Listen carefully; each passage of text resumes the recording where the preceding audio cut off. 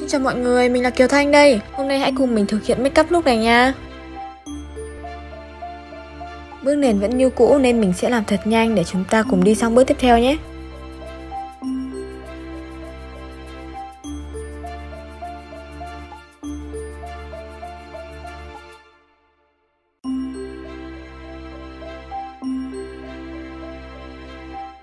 Kiểu mắt ngày hôm nay mình sẽ tập trung đánh vào phần đuôi mắt. Dùng màu mắt đào để đánh má và mắt hai trong một. Sau đó chúng ta sẽ dùng màu hồng pha thêm chút nâu để nhấn vào đuôi. Dùng chì kẻ mày để phẩy thêm những sợi còn thiếu. Thêm một chút nhũ mắt. Sau đó là kẹp mi thật cong, kẻ mắt và chút mascara.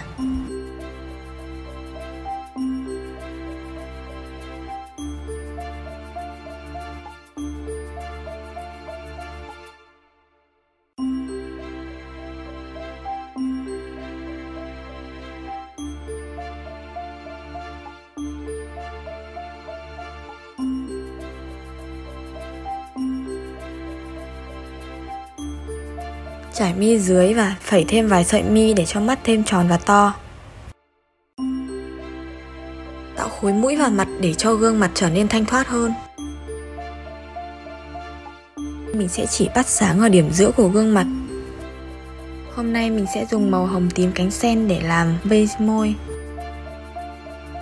Sau đó là dùng màu cam đất nút để đánh vào lòng trong. Và cuối cùng là một lớp son bóng đỏ đánh ở giữa. Tán đều và thế là hoàn thành rồi.